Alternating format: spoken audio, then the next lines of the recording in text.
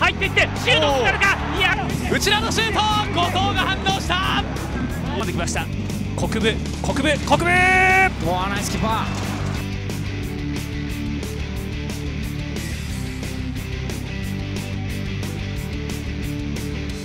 シュートを出るか？左足。ゴールキッ正面。後藤が抑えます。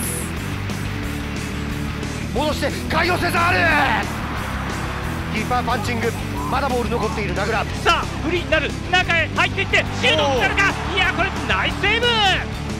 昨シーズンは6ゴール。さあ今のシーン。ね、はい。強い当たりで相手を飛ばして、非常にこう難しい体勢でしたけどもね、足を合わせましたけども、キーパーもね、入れて一本で素晴らしいセービングでしたね。後藤のビッグセーブが出ました。金沢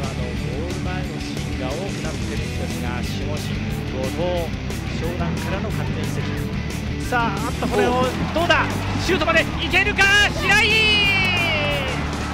ゴールキーパーの後藤がさあシュートまでいけるか、うん。ゴールキーパーまだ！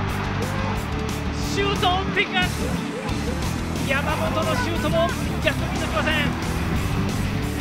まあ、カナダは絶対的な守護神であったね白井選手っていううー、まあ、選手を差し差し置いてというかねそこからポジションを奪ってこう開幕からこう3試合スタメン出ますんで、まあ、新しい守護神としてねそこら辺も期待したいですよね。入れから花田のシュート。後藤のセーブ。中仕掛ける。まだ右足。後藤正面。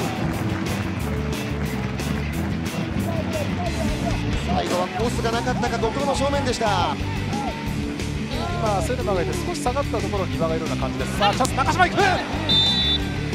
中島とキーパー後藤が交錯をして、ここはオフェンスのファウルを打ち、長谷川、高いレオ来た、高い打つ。綺麗なワンツーから前が空いてキープした後奥山ダイレクト速いボールだがあっと足で防ぎました後藤正明岡田の右足だ。あー軸ボールをキープ右からシュート後藤のナイスキーパー問題はどこかそのファーサイドです。越えていってゴールキーパーの後藤が出ました。ナイスキーパーですね、えー読んでいました。返したところマイケル・ジェームズマイケル・ジェームズもう一度ゴール前のブロックがありました。もう一度振り直して今度は高いボール。これは後藤がキャッチします。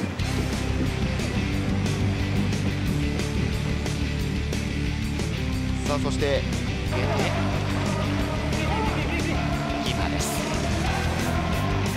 そしておーロン距離のあるボールを投げてきましたキーパーの後精度の高いロングスローでしたね。藤そうですね。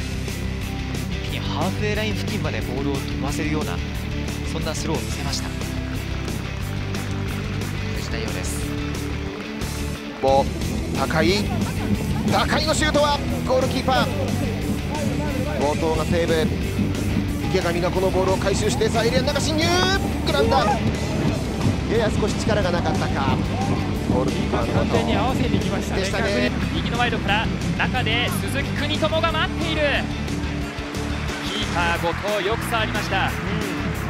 一山越えれば鈴木が待っていました。可愛い小山のクロス。切り返した。こぼれたシュート横山よくしのぎました金沢。これね深いところまで入っていってここでしっかりと川合選手が受けてダイレクト。ここで打たずに切り返すんですね。ここでシュートですけどよくこれ後藤選手触りましたよね。でこの後もよく体つけてディフェンスしましたね。お互いにとってこういいシーンが見えたシーンでしたし、まあ、松本にとっては決めきりたかったというシーンだったですね。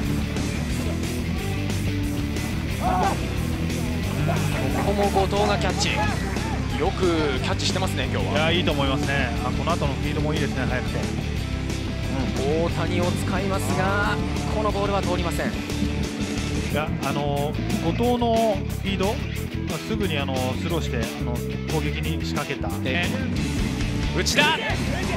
内田のシュート。後藤が反応した。いや決定機姫。ー後藤ナイスシュートストップですね。立ちはだかったのは背番号1番の後藤でした。今の愛媛の内澤のプレーも素晴らしかったですよね。そうですね。クロスが入る。合わせた藤本後藤が立ちはだかりました。いやー今のシュートも決定的でしたけどね。そうですね。後藤のナイスセーブですね。このアディショナルタイム2つの決定機愛媛はどちらも後藤に防がれました。折り返しマイナスか。シュートだ藤田。